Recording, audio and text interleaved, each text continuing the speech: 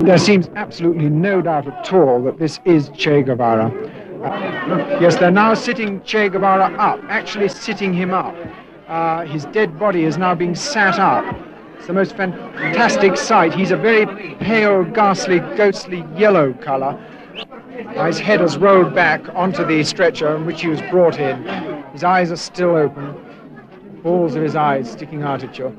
And now they're lifting his head up by his long hair again, coming right back. The smell of formalin here is quite terrible. The smell of formalin. You can hardly get near the body of Che Guevara for this ghastly smell which makes your eyes smart. All the crowd outside are trying everything they know to come in. Uh, the, the, the forces are holding them back. They're holding them back with their rifle butts. There's a woman seems to be fainting down here with the soldiers pushing her back. People are coming in from every side now. Every side, the crowd is crowding in on them. They're now telling us to get out of it. They're taking all the people away. Che Guevara is being held up by his hair again. It's a terrible sight. His eyes are rolling. Now that the army are telling him to get away, army officers standing all around the body, a corporal holding him up by his head, and now his head's rolled back onto the stretcher. We've got to go. They're coming at us with the rifle butts now. They're coming at us with the rifle butts. Nome del Padre, del Hijo, Santo. Amen. Bolivia, South America. Three weeks after the public death of Che Guevara, the man who wanted to lead a Latin American revolution. It is November the 2nd, a day of mourning in Bolivia, the Day of the Dead. But there were few tears for Guevara. The legendary guerrilla leader who had haunted the continent for two years died after a jungle ambush on October the 9th with hardly a whisper of protest from those he wanted to free. Was his death the end of a revolution? Rene Barrientos, general and president, heads the military regime Guevara wanted to overthrow. Now he can afford to be charitable. I respect all the men who has their ideals. And I think he fought for their ideas. When they were in, in the revolution in Cuba against Batista, I was with them. Also, we, we fought uh, 20 years ago the same way. In this country, we are in revolution. We make the agrarian reform. We nationalize the mines. Uh, we are educating our, our peasants, our Indians. And uh, so, what they can offer before they arrive, this part, I arrived three years ago, making schools, highways, bridges, and sanitary places for the Indians, for the peasants.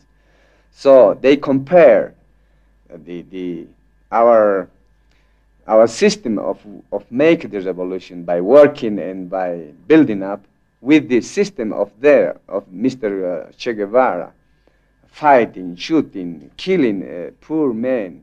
We lost at least uh, 57 men, very poor, most of them Indians. How can you imagine revolution killing the poor men? Most Bolivians are poor, and poor men listen readily to talk of revolution. But Guevara found little support among these people. To Bolivians, the hero of the Cuban revolt was just another troublemaking foreigner, and they've already had their taste of revolution. In the past 142 years, there have been 180 revolutions in Bolivia. But it's now 15 years since the social revolution of 1952, and the peasants feel they have won a sort of freedom. Bolivia is a harsh country, perfectly landscaped for discontent. It's an abrupt contrast of tropical jungle and hostile plateau 13,000 feet up in the Andes, where the air is thin and mere existence is a struggle. More than half the people live up here, scratching out a living. Before the 1952 revolution, a handful of rich families held this land. Now they have gone. The haciendas from which they ruled stand empty and neglected. And still the peasants toil as they've always done. The revolution hasn't made the frozen soil any easier to plough, and only when the rains come at the end of the year can the primitive ploughs bite into the ground. The reward is potatoes, the peasant's staple diet. For all the grinding efforts of more than three quarters of Bolivia's people who work on the land, over half the country's food still has to be imported. Things change slowly here. A man is no longer the slave of a rich master, but his way of life has hardly varied in centuries. 450 years ago, when the Spaniards arrived in South America, they were lured to Bolivia by silver. Today, Bolivia's most precious metal is tin. Tin is vital to the country's survival. Mines like this provide nearly all the national income. But in their cold and desolate isolation, they also breed a bitter discontent. One of the major problems, eh, of course, is the mines because it's only the one problem we have. We are a monoproductor. We don't have any other industry but the mine. In the mines, uh, we have a very high cost of production. Maybe in this moment we are producing at the same cost as the price in the market. This is very difficult. You could imagine we don't have any, any other amount to, to make better life for the miners. Seven days a week, Eight hours a day, 1,000 feet underground. That's the life of a tin miner. And when he's finished, this is the home he has to come back to. Mud walls, a straw roof, and no running water. He lives here with his wife and four children. At this mine, 24,000 men, women, and children live in conditions like these. Yet the miners here are producing nearly half Bolivia's tin. In May 1965, the government slashed the miners' wages in half. Now, the tumbling world price of tin has pushed many miners out of work. Those who can't find a job underground now dredge the mine's waste, hunting for traces of tin to be sold back to the government mining corporation for next to nothing. 350 women scratch hopefully for rocks rich in tin, which have spilled down from the giant slag heaps. Ten have been killed this year. Some of them struggle on until they're 60. Apart from paying them for what they can pick up, the government gives them little. The mining hospital isn't for them, nor are the sparse benefits the miner gets. The conditions in the mines have aroused growing protest in Bolivia. One of the most vigorous campaigners on behalf of the miners is the editor of Bolivia's leading newspaper, Alberto Bailey. I know miners who work three or four years inside a mine, young people. And then they are discharged, they cannot go forever to a hospital. So they just go around Bolivia trying to find some, some little job with the children. And this is 25, 26, 20 years old. Uh, Comibol will not accept them anymore, you see. And nobody's going to accept because of the, of, the, of the sickness they have in the mines. The miners being just 35,000 in Bolivia, they are really explosive. And the government will have to control them, sometimes brutally, you know, with soldiers, with guns, with killing. And uh, because of this situation, with no freedom, with soldiers there, the miner will come more and more discontent. And the next time, the miner will come with guns for his own rights, and the government will have to use force again. In May 1965, every mine in the country rose in revolt. The army was called in. 500 miners were killed. Four months later, the army returned. More than 50 miners and their families were machine gunned. On June the 24th this year, the army came here. They killed 30 people, eight of them children. So, with the army in control on the surface, and with their union leaders dead or imprisoned, the only refuge for the miner was underground. Down here in the maze of shafts, galleries, and passageways, the miner is on his own ground.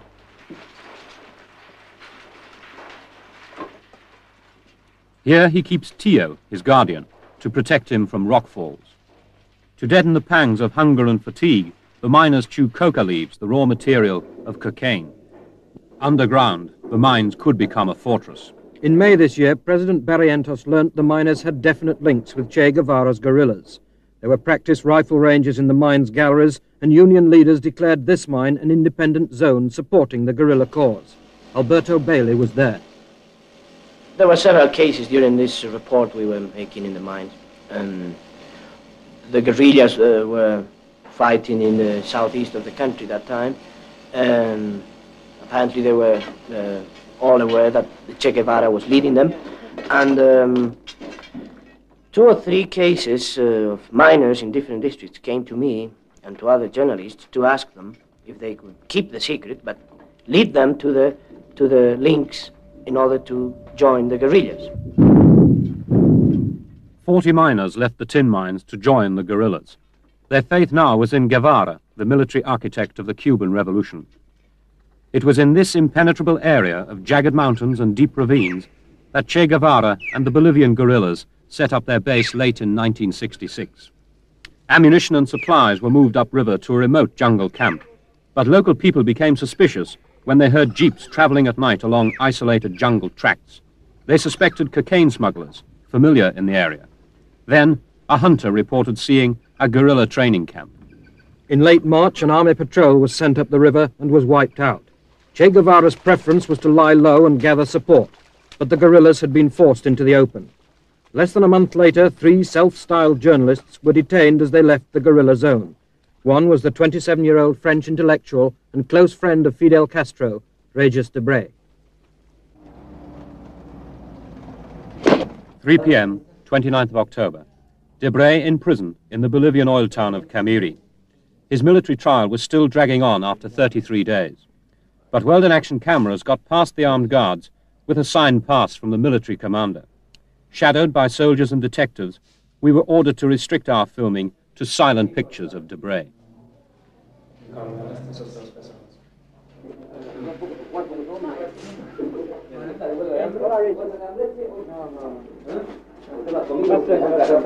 Porque hace ocho días solamente si, si, si Reyes no quiere hacer, entonces no, no vamos a hacer nada. Eso es que no, no, quieren. Okay. What, what is the cell like? Can you tell us a little? The cell is good. You can see there's well be, before you know it was uh, all shut, no, and Yes. I didn't have light, but they have opened the, the window so I can read and I can write. I've been alone two months without possibility of communication. No? Well, a lot of official officials of the army came in the, in the cell to, to hurt me, no? But of course I could not defend me because I was alone and there were 10 or 12. But that lasted only two or three days, you know. What did they do to you, Regis? Well, they...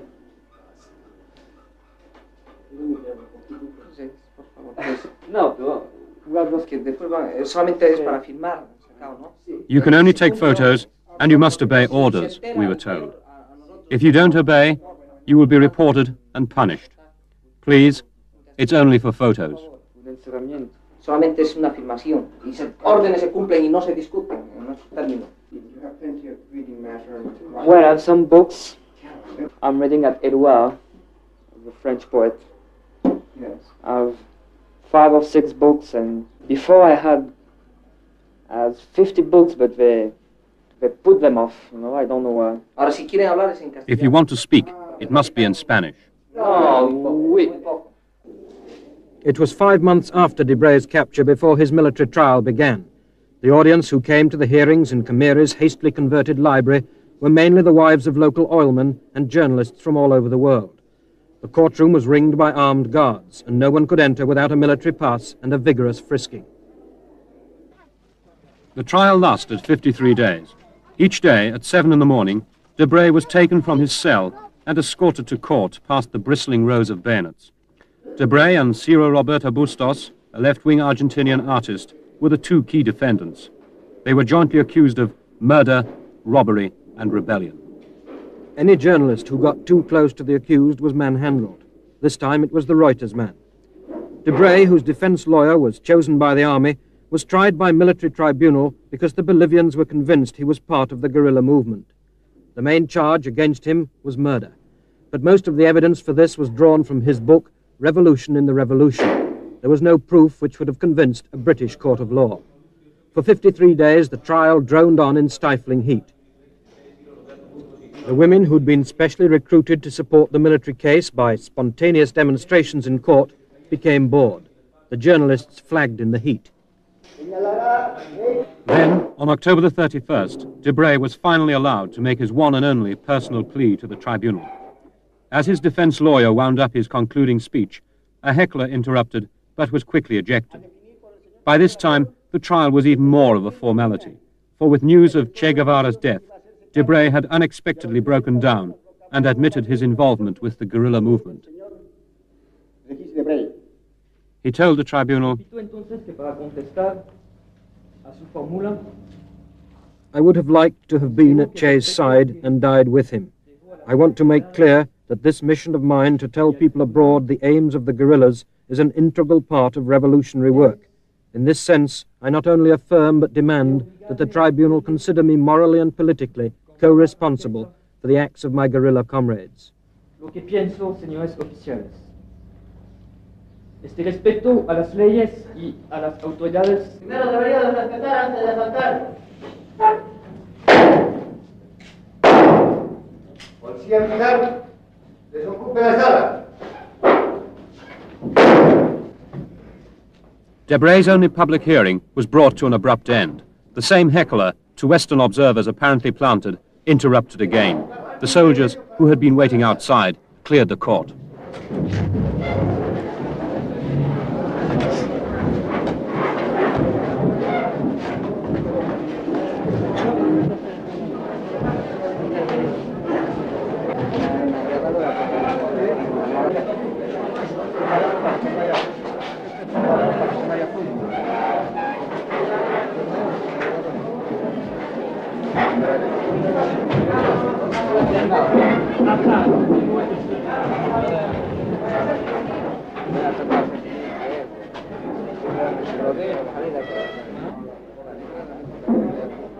Regis Debray was sentenced to 30 years imprisonment, the maximum penalty in Bolivia.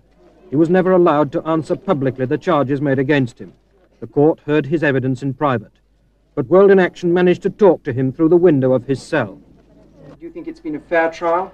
No, of course not. It was a repugnant comedy. Uh, because if you have chosen some witnesses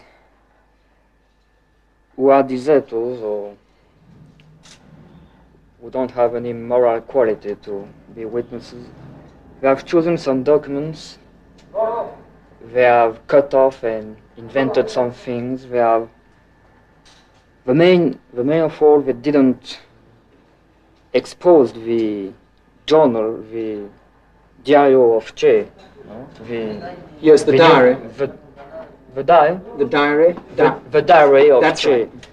because in the diary of Che, only a visitant who stays a short time, and uh,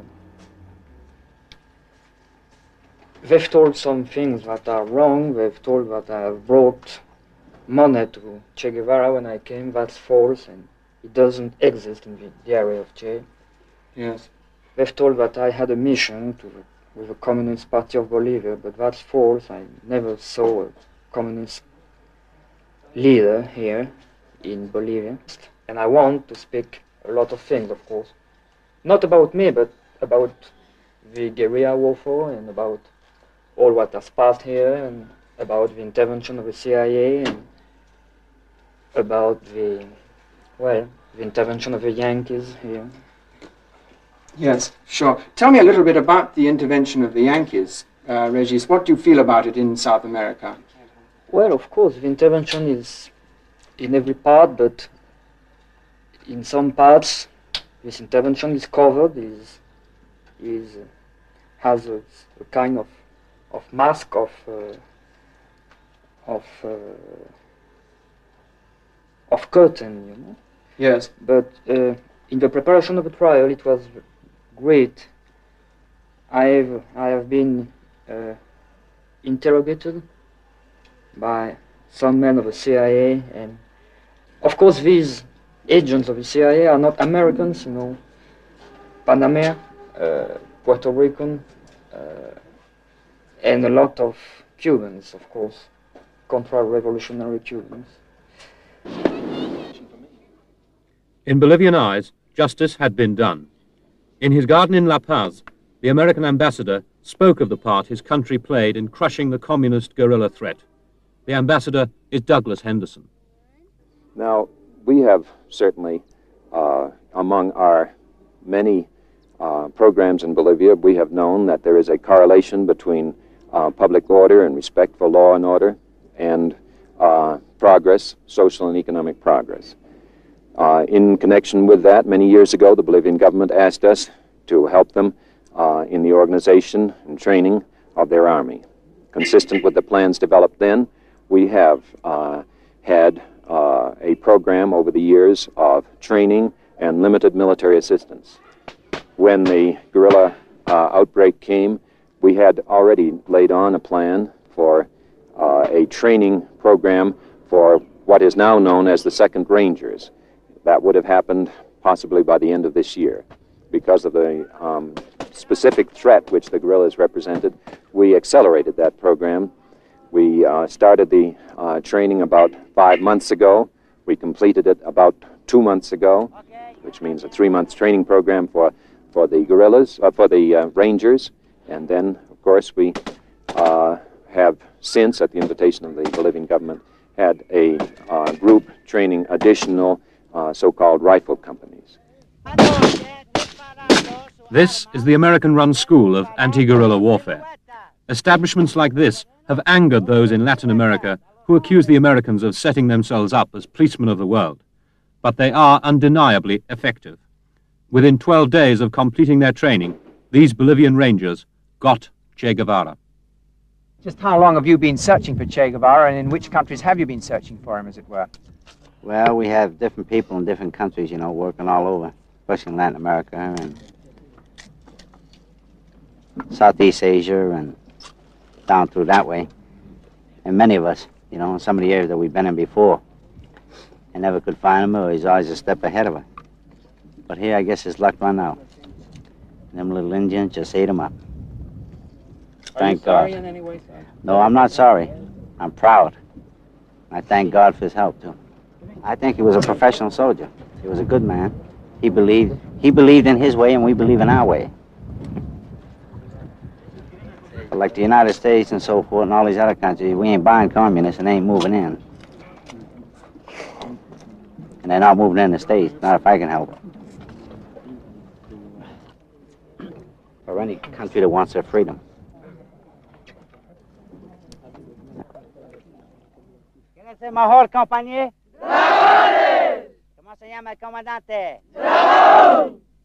Americans have long regarded Latin America as their own back door and they intend to keep an American foot in that door. So what chance does Master Sergeant Milliard give the guerrillas in the future?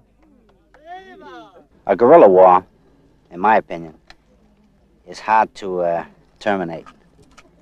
Because uh, once you wipe out their main people, their auxiliary, and their leaders and so forth, they'll go underground till they get more leaders, then they'll come back up again. And uh, this is problems, what we call a problem area. And then what we try to do is solve it. If we can solve it by helping the people out, then we do it. If not, then we get some of our technicians or our specialists and uh, see what they can do about it. One specialist who made it his business to be present when Che Guevara's body was brought in was this man. His name, Felix Ramos. He entered Bolivia as a Cuban businessman. More likely, he's a member of the American Central Intelligence Agency, the CIA.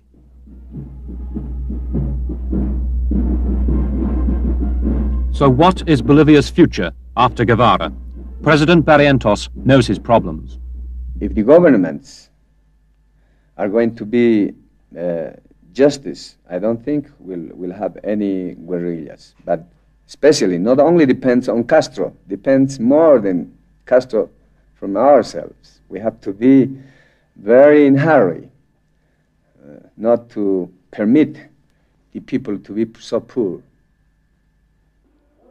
And for myself, I want only to, to keep on to to go on to get on fighting and and uh,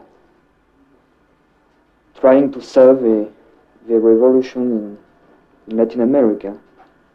But that's very difficult from the side, you know. You can't do many things. ¿Por qué no llamas a tu mujer, a tus hijos, a tu... con tu sangre, hermano? The misery of people like these is raw material for revolution. This man, Federico Escobar, a communist and miner's hero, died just a year ago. Unlike Guevara, he was a Bolivian and is still mourned in defiance of official disapproval. If a leader like him stakes his claim before President Barrientos wins the fight against poverty, Bolivia could face its 181st revolution.